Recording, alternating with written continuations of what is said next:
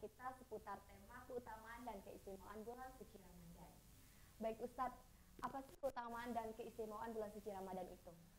Baik, dalam sebuah ayat Nabi kita menjelaskan bahwa Ramadan ini uh, mendapatkan julukan Sayyidus Syuhur. Artinya rajanya bulan atau pemimpinnya bulan atau penghulunya bulan. Apa alasan atau sebab Ramadan mendapatkan julukan pemimpinnya bulan? Yang pertama, Allah Subhanahu wa taala memilih Ramadan adalah bulan di mana Allah Subhanahu wa taala menurunkan Al-Qur'an. Terdapat dalam surah Al-Baqarah ayat 185. A'udzu billahi minasyaitonir rajim. Syahrul Ramadan alladzi unzila fihil Qur'an. Ila akhir ayat. Ramadan adalah bulan di mana Allah Subhanahu wa taala menurunkan Al-Qur'an. Bahkan dalam riwayat hadis semua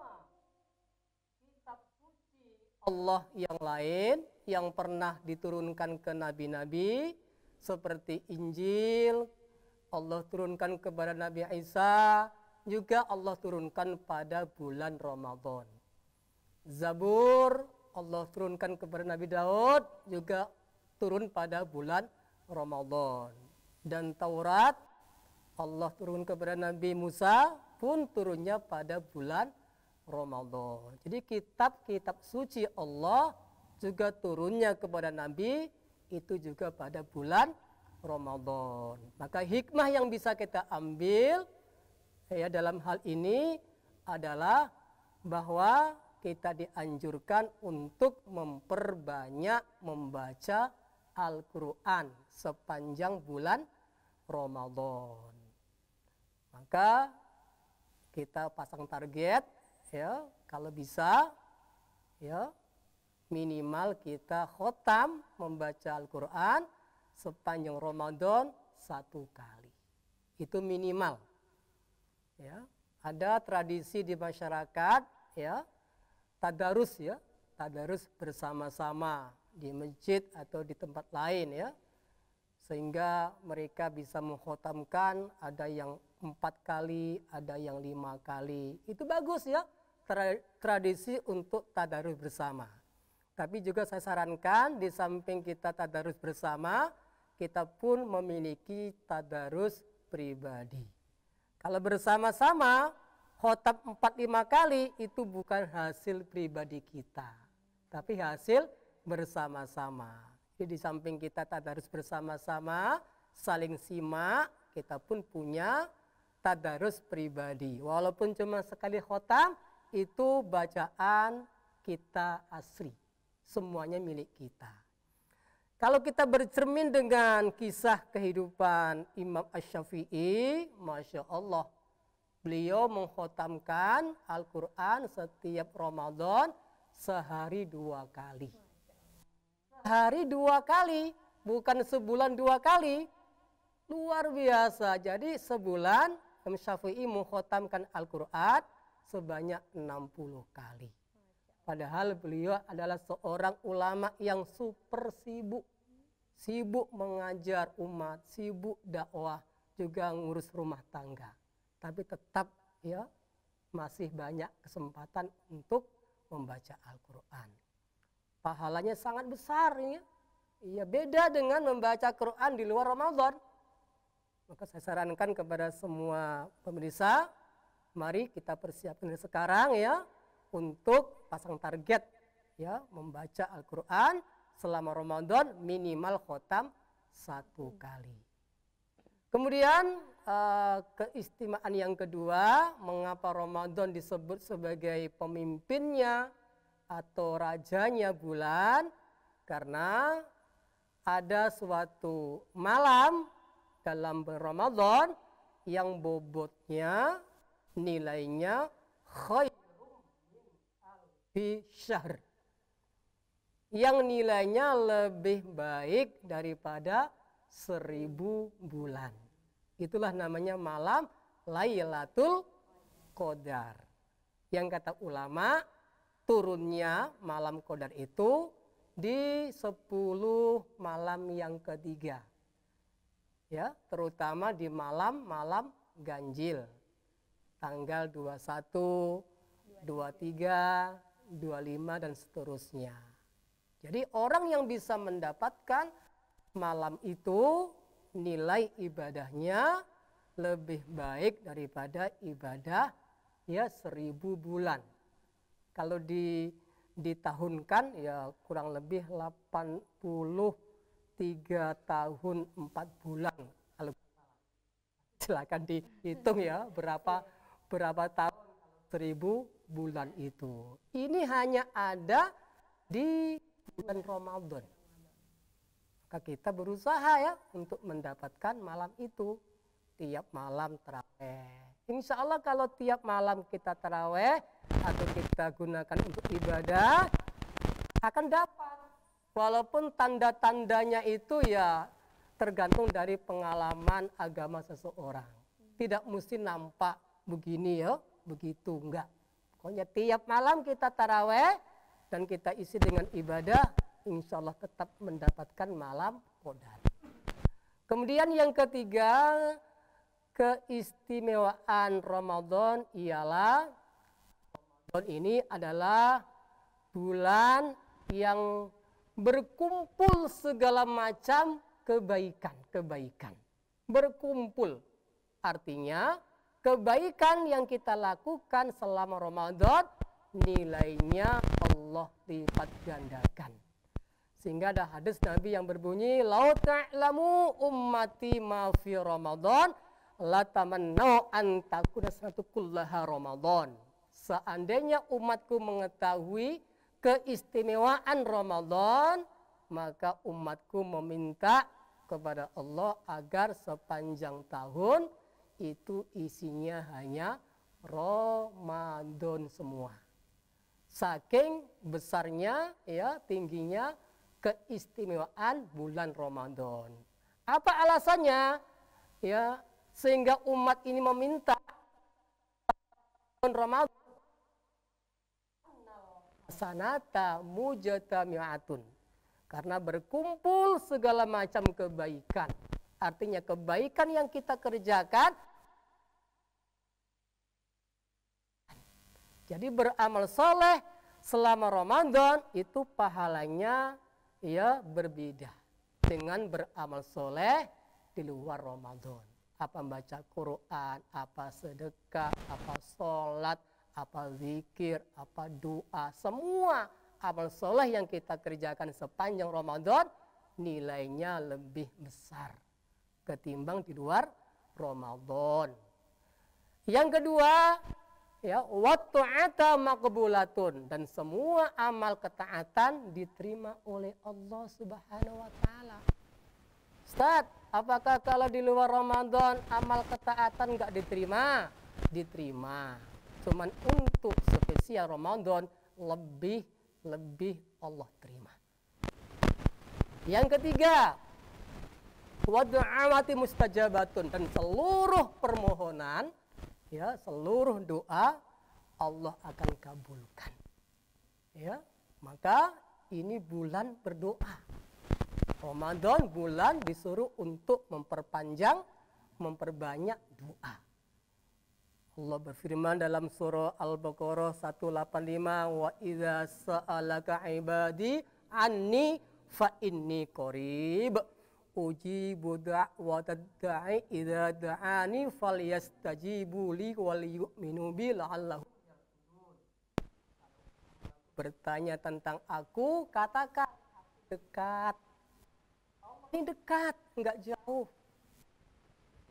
Yang lain diterangkan nahnu aqrabu ilaihi min hablil warid. Kami kata Allah kat Tapi kita nggak boleh memahami Allah berjarak, Allah bertempat. Artinya kasih sayang Allah kepada orang mukmin yang taat sangat dekat. Allah sangat dekat bagi hamba yang taat. Perbanyak doa. Jangan sampai kita malas berdoa. Hari-hari biasa, luar Ramadan, durasi doa kita mungkin sehari semalam sejam. Untuk Ramadan harus lebih panjang lagi, lebih lama lagi. Terutama doa menjelang berbuka. Sangat-sangat mustajab. Kadang-kadang kita karena kebodohan kita ketika mau berbuka sibuk main HP. sibuk main yang lain-lain ya, TV padahal tengah jam dari maghrib angkat. Jangan turunkan tangan sebelum maghrib. Saat-saat mustajab. Ya, jangan sampai kita lupa dengan amalan ini. Perbanyak doa. Lagi yang keempat adalah wal jannatu mustaqatul lahum dan surga ya, surga itu merindukan kepada mereka mereka orang-orang yang mau memanfaatkan Ramadan ketika dia sempat menemui Ramadan sibuk untuk beramal. Surga sangat merindukan mereka-mereka orang yang mau bersemangat dalam mengisi ibadah. Ini istimewaan Ramadan. Jadi Baik. memang sangat masya Allah sekali keutamaan dan keistimewaan suci Ramadan ini ya Ustaz. Betul, betul. Nah berbicara tentang uh, puasa ini Ustaz, apa saja sunah-sunah yang uh, baik kita lakukan untuk saat berpuasa ini Ustaz? Amalan yang sangat dianjurkan ya supaya nilai eh, ibadah puasa kita berbobot adalah ya tadi memperbanyak ibadah sunnah.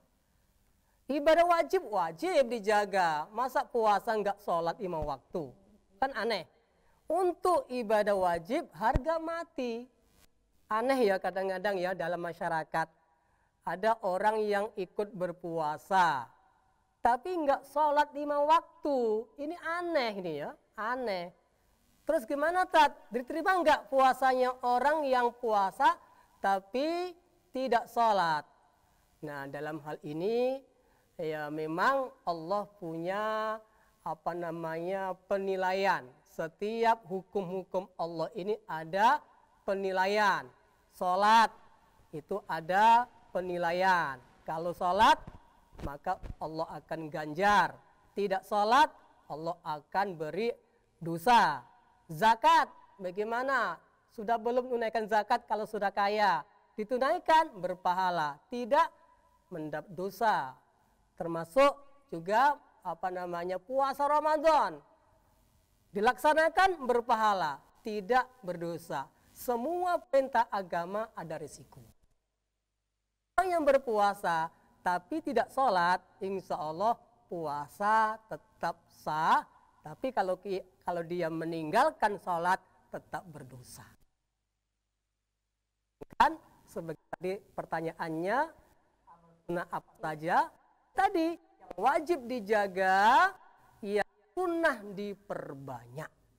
Perbanyak sedekah, perbanyak doa, perbanyak zikir, perbanyak sholat malam di saat taraweh, perbanyak sholat-sholat yang nafil.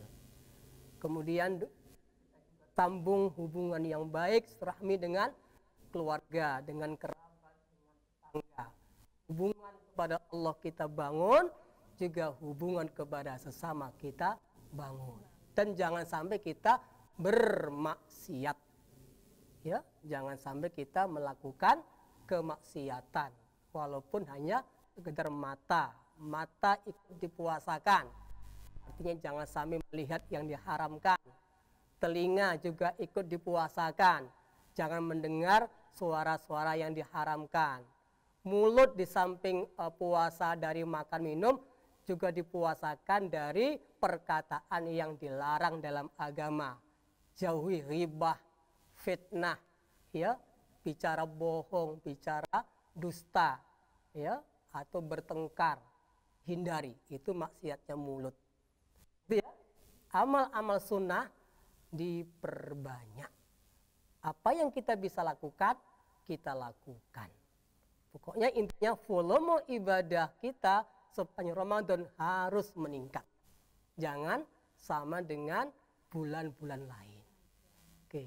Nah, uh, baik Ustadz, uh, di bulan puasa ini kan apa saja hikmah yang bisa kita ambil dalam uh, puasa Ramadan ini, terutama di era pandemi ini Ustadz? Yang jelas ini adalah ujian. Ya, hikmah yang paling besar adalah ujian keimanan bagi umat Islam terutama ya. Bagaimana Allah berikan suasana yang seperti ini pandemi masihkah kita bersyukur kepada Allah? Masihkah kita taat kepada perintah Allah? Ini mengandung pelajaran bagi Islam. Ini hikmah yang paling besar. Makanya orang beriman itu ya apa pun uh, kondisi keadaan yang menimpa dirinya kalau orang beriman itu diberi uh, suasana aman, diberi kenikmatan, kelapangan, kebahagiaan, sikapnya bersyukur dan meningkatkan ketaatannya.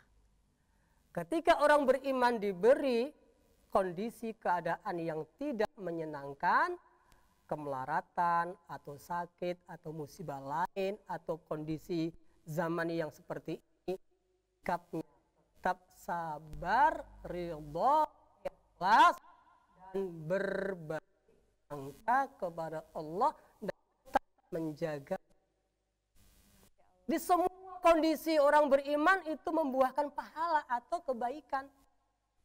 Beriman, bersyukur, taat. Itu iman di kondisi susah, miskin, tanpa bertaat. Jadi semua kondisi tetap mendatangkan. Nah, yang terakhir ini Ustaz, eh, apa pesan dan saran Ustaz untuk mahasiswa UNAN Fatah Palembang saat berpuasa ini Ustaz? pesan saya untuk semua mahasiswa UIN tetap bersemangat dalam belajar ya dalam kuliah tetap semangat, jangan sampai ber, berkurang ya semangat dalam belajar. Kemudian tetap ya meningkatkan keimanannya. Tetap semangat dalam beribadah kepada Allah. Tetap menjalin hubungan yang baik dengan kawan-kawannya. Tetap menjalin hubungan baik kepada keluarganya terutama ya. Jadi semua tetap kita kita kita kondisikan Terima kasih Ustaz telah berkenan hadir dalam acara kita pada pagi hari ini. Terima kasih juga kepada pemirsa yang sudah menyaksikan acara kami dari awal. Kuliah Ramadan akan kembali lagi tentunya bersama narasumber yang tepat di bidangnya dan juga dengan pembahasan yang lebih menarik lagi. Marhaban ya Ramadan. Bulan suci Ramadan adalah bulan yang penuh dengan ampunan. Selamat menunaikan ibadah puasa 1442 Hijriah. Saya Vina Ardiana dan kru yang bertugas uh, pamit undur diri. Wabillahi taufiq Wassalamualaikum warahmatullahi wabarakatuh. Wassalamualaikum warahmatullahi wabarakatuh.